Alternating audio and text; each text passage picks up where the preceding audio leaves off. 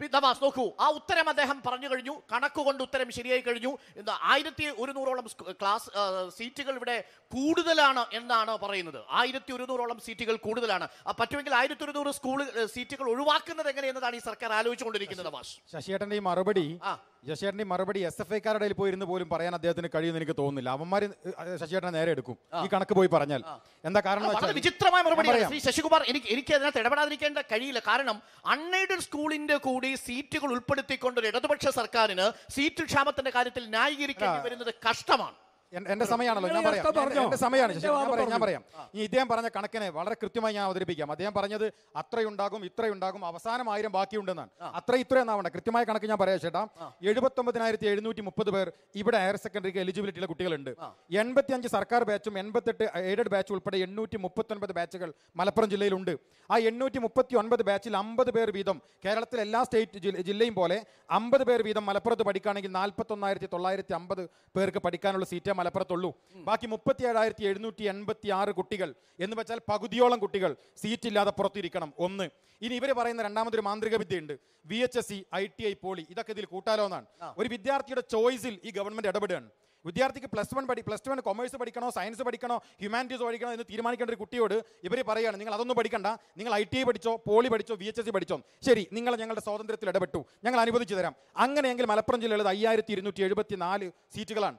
അതും കുറച്ചാൽ മുപ്പത്തിരണ്ടായിരത്തി അഞ്ഞൂറ്റാറ് കുട്ടികളെ നിങ്ങൾ എവിടെ പറഞ്ഞേക്കും? എവിടെയാണ് നിങ്ങൾ പറഞ്ഞേക്കാൻ പോകുന്നത്? അവിടെ നിങ്ങൾ മാന്ത്രിക വിദ്യ ഇറക്കാൻ മുപ്പത് ശതമാനം പിന്നെ മാർജിനൽ ഇൻക്രീസ് ശരി നിങ്ങൾ മറ്റു ജില്ലകളിലൊക്കെ അൻപത് പേര് പഠിക്കുമ്പോൾ മലപ്പുറത്ത് മലബാർ ജില്ലയിൽ മൊത്തം മലപ്പുറത്ത് മാത്രമല്ല അറുപത്തഞ്ച് പേര് ക്ലാസ് മുറിയിൽ ഇരിക്കാം ഞങ്ങൾ തയ്യാറാ. എങ്കിലും ബാക്കിയുണ്ട് ഇരുപത്തൊന്നായിരത്തി എണ്ണൂറ്റി അമ്പത്തി ആറ് കുട്ടികൾ. ഇവരെ എന്താ ഈ ഗവൺമെന്റ് ചെയ്യാൻ വേണ്ടി പോകുന്നത്? ഈ ഇരുപത്തിയൊന്നായിരത്തി എണ്ണൂറ്റി അമ്പത്തി ആറ് ബാക്കിയുള്ളിടത്താണ് നേരത്തെ പറഞ്ഞ പണം കൊടുത്ത് പഠിക്കുന്ന പതിനൊന്നായിരത്തി ഇരുന്നൂറ്റി എഴുപത്തഞ്ച് സീറ്റിൽ ഞങ്ങൾ പഠിക്കാം പഠിപ്പിക്കാം എന്ന് ഇവർ പറയുന്നത്. കുട്ടികൾ പണം കൊടുത്ത് പഠിക്കാൻ കൂലിപ്പണിക്കാരായ മക്കളുടെ രക്ഷിതാക്കൾ ഉൾപ്പെടെ പണം കൊടുത്ത് പഠിക്കാൻ.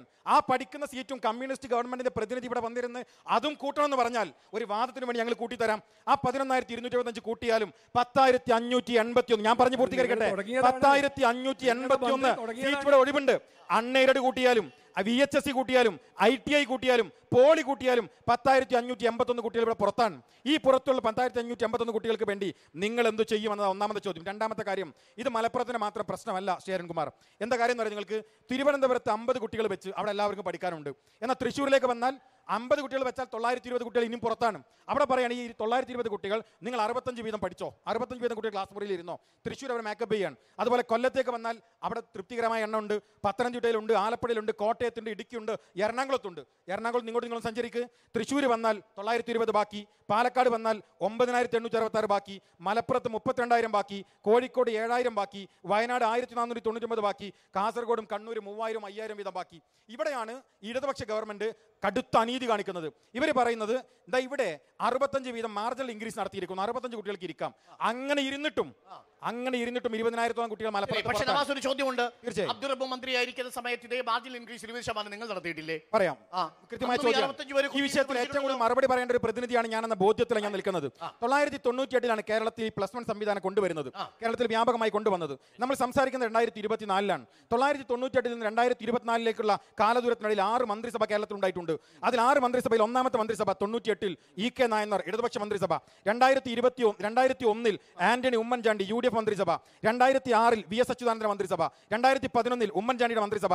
രണ്ടായിരത്തി പതിനാറിൽ പിണറായിയുടെ ഒന്നാം ഗവൺമെന്റ് രണ്ടായിരത്തി ഇരുപത്തൊന്നിൽ പിണറായിയുടെ രണ്ടാം ഗവൺമെന്റ് എന്ന് വെച്ചാൽ ഈ ആറ് മന്ത്രിസഭയിൽ നാല് മന്ത്രിസഭയും സി പി എം ഭരിച്ച ഇടതുപക്ഷ മന്ത്രിസഭയാണ്. രണ്ടു തവണയാണ് യു ഡി എഫ് ഭരിച്ചത്. ഇനി അതിൽ തന്നെ തൊണ്ണൂറ്റിയെട്ടിൽ ആദ്യമായി നായനാർ ആരംഭിക്കുമ്പോൾ ഈ പറയുന്ന അസന്തുലിതാവസ്ഥ എങ്ങനെയാണ് മലപ്പുറത്ത് ഉണ്ടായത് എങ്ങനെയാണ് മലബാറിൽ ഉണ്ടായത് അത് രാജ്യത്തിന്റെ പാരമ്പര്യത്തോളം പൈതൃകമുണ്ട് പിന്നെ ചരിത്രമുണ്ട്. എങ്ങനെയാണ് ബ്രിട്ടീഷ് വിരുദ്ധ പോരാട്ടങ്ങൾക്ക് ഈ മലബാർ നൽകിയ പങ്ക് എന്താണ് എന്ന് ചരിത്രം പഠിക്കുന്ന ആർക്കും മനസ്സിലാവും. ബ്രിട്ടീഷുകാരനോട് നിന്റെ ഭാഷ വേണ്ട നിന്റെ പഠനം വേണ്ട നിന്റെ സ്കൂൾ വേണ്ട നിന്റെ സൗകര്യങ്ങൾ വേണ്ട എന്ന് പറഞ്ഞ ഒരു ജനത ഈ രാജ്യത്തെ കൊണ്ടുവന്ന ബ്രിട്ടീഷിന്റെ പട്ടാളക്കാരിൽ മൂന്നിലൊന്ന് മലബാറിൽ കൊണ്ടുവച്ചുവെന്ന് മലബാർ മാനുവൽ വായിക്കുമെന്ന് നമുക്കറിയാം. ആ ജനത അവർ പഠിക്കാത്തത് കൊണ്ടല്ല അവർക്ക് പഠിക്കാൻ കഴിയാത്തത് കൊണ്ടല്ല അവർ ബ്രിട്ടീഷ് വിരുദ്ധ പോരാട്ടങ്ങൾക്ക് നേതൃത്വം കൊടുത്ത് ക്ലാസ് മുറികളിൽ ഇറങ്ങിയപ്പോൾ ഒരു ഗതികേട് വന്നതാണ്. നിങ്ങൾ ചോദ്യത്തിന് പറയുന്നത് അങ്ങനെ ഒരു ജനത മുമ്പിൽ തൊണ്ണൂറ്റെട്ടിൽ നായനാർ സർക്കാർ ഇത് കൊണ്ടുവരുമ്പോൾ സ്വാഭാവികമായി ഇത് കൊണ്ടുവരുമ്പോൾ ഉണ്ടാകേണ്ട ഒരു കാര്യമുണ്ട്. പ്രീ ഡിഗ്രിയിൽ നിന്ന് പ്ലസ് ടു കൊണ്ട് പ്ലസ് വൺ കൊണ്ടുവരുന്നു. മലബാറിൽ സ്വാഭാവികമായ ഒരു പിന്നോക്കാവസ്ഥയുണ്ട്. എന്ന ബോധ്യത്തിൽ പരിഹരിക്കേണ്ടടുത്ത് അസന്തുലിതമായ സാഹചര്യം ഉണ്ടാക്കി. മുന്നൂറ്റി തൊണ്ണൂറ്റിയേഴ് പുതിയ ബാച്ചുകൾ സാധിച്ചു. നിങ്ങൾ തെറ്റുണ്ട് നിങ്ങൾ പറഞ്ഞെടുത്തു. എവിടെ സാധിച്ചു എന്ന് വെച്ചാൽ അന്ന് കൊടുത്തതിൽ അസന്തുലിതാവസ്ഥ ഉണ്ടെന്ന് ഞങ്ങൾ പറഞ്ഞപ്പോ കോടതിയിൽ പോയപ്പോ ഗവൺമെന്റ് പറഞ്ഞ മറുപടി ഈ മലപ്പുറത്തെ കുട്ടികൾ മലബാറിലെ കുട്ടികൾ മലപ്പുറം മാത്രമല്ല പഠി പഠനത്തിൽ പൊതുവെ പിന്നോക്കമുള്ളവരാണ്. ആവശ്യമുള്ളപ്പോൾ കൊടുക്കാം എന്ന തൊണ്ണൂറ്റെട്ടിൽ പറഞ്ഞത്. എന്നാൽ രണ്ടായിരത്തി ഒന്നിൽ ഞാൻ നേരത്തെ പറഞ്ഞ ആന്റണി ഉമ്മൻചാണ്ടി ഗവൺമെന്റ് വന്നു. നാലകത്ത് സു P M Sivan E T Muhammad ബഷീറും വിദ്യാഭ്യാസ മന്ത്രിയായി. കേരളത്തിലെ എല്ലാ ഹൈസ്കൂളുകളിലും പ്ലസ് വൺ അനുവദിച്ച ആ കാലഘട്ടങ്ങളിലാണ്. കേരളത്തിലെ എല്ലാ ഹയർ സെക്കൻഡറി സ്കൂളുകളിലും ബാച്ച് അനുവദിച്ച ആ കാലഘട്ടങ്ങളിലാണ്. നിങ്ങൾ പറയുന്ന മലപ്പുറത്ത് മാത്രം എന്റെ മലപ്പുറത്ത് മാത്രം നാൽപ്പത്തി ഒമ്പത് ഇടത്ത് അപ്ഗ്രേഡേഷൻ നടന്നു. പിന്നീട് വന്ന ഗവൺമെന്റ് വി എസ് അച്യുതാനന്ദന്റെ ഗവൺമെന്റ് വിവാദമായ പ്രസ്താവന ഉണ്ടായത് അപ്പോഴാണ്. മലപ്പുറത്ത് വിജയബേരി എന്ന പദ്ധതി മലപ്പുറം ജില്ലാ പഞ്ചായത്ത് ഉണ്ടാക്കി. അറുപതോ എഴുപതോ ശതമാനം വിജയം ഉണ്ടായിരുന്ന മലപ്പുറത്ത് വിജയബേരി പദ്ധതിയിലൂടെ തൊണ്ണൂറ്റണ്ടും തൊണ്ണൂറ്റിമൂന്ന് ശതമാനം ഇന്നത്തെ തൊണ്ണൂറ്റണ്ടല്ല പത്ത് വർഷം മുമ്പുള്ള തൊണ്ണൂറ്റണ്ട് Okay. ആ തൊണ്ണൂറ്റണ്ട് വിജയ ശതമാനം മലപ്പുറത്ത് വിജയബേരി പദ്ധതിയുടെ മലപ്പുറം ജില്ലാ പഞ്ചായത്ത്. നേരത്തെ പഞ്ചായത്തിൽ ഉണ്ടാക്കി. ആ സമയത്ത് പോലും വി എസ് അച്യുതാനന്ദൻ പറഞ്ഞത് കോപ്പി അടിച്ച് ജയിക്കുന്നവരാണ് എൻട്രൻസുമായി ബന്ധപ്പെട്ട് കോപ്പി അടിച്ച് ജയിക്കുന്നവരാണ് മലപ്പുറത്തുള്ളത് എന്നിവർ പറഞ്ഞു. അത് കഴിഞ്ഞു വന്ന ഞങ്ങളുടെ ഗവൺമെന്റ് കേരളത്തിൽ എൺപതിനായിരം വിദ്യാർത്ഥികൾക്ക് പുതിയ സീറ്റ് അനുവദിച്ചത്. പിന്നീട് വന്ന ഉമ്മൻചാണ്ടി ഗവൺമെന്റ് അപ്പോഴും ഒരു കണക്ക് നമ്മുടെ മുന്നിലുണ്ട് കെ ടി ജലീൽ വെക്കുന്ന കണക്കതാണ്. നിങ്ങളുടെ കാലത്ത് പ്രൈവറ്റ് രജിസ്ട്രേഷന് വേണ്ടി ഇരുപത്തയ്യായിരം വിദ്യാർത്ഥികൾ പോകുമായിരുന്നു ഒരു കാലഘട്ടത്തിൽ നിന്ന്. പന്ത്രണ്ടായിരത്തിലേക്ക് അത് കുറച്ചിരിക്കുന്നു പിണറായി സർക്കാരിന്റെ കാലം. അത് പറയാം. ഞാൻ അതിലേക്ക് പറയാം.